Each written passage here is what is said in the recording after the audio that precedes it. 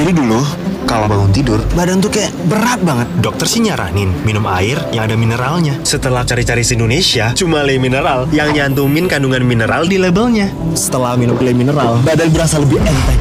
Tubuh butuh mineral, namun tubuh tidak dapat memproduksi mineral sendiri. Le Mineral, sumbernya dari pegunungan terpilih, mengandung mineral esensial agar tubuh bekerja optimal. Udah paham sekarang dan aku bawa Le Mineral ke mana pun itu. Le Mineral, kebaikan mineral terlindungi.